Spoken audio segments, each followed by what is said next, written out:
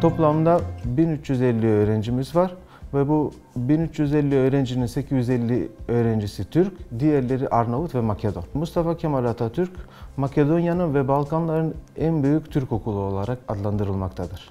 2016 yılında TİKA'nın katkısıyla merkezi okulumuzda 1000 öğrencimiz var. Burası onarıldı ve ek bir binada ilave edildi. 2017 yılında Makedonya'da en iyi şartları olan okul seçildik. Engelliler sınıfımız vardı o komple onarıldı. Onlara özel asansör yapıldı. Eskiden çok kötü şartlarda okuyorken şimdi özel bir kolej statüsündeyiz.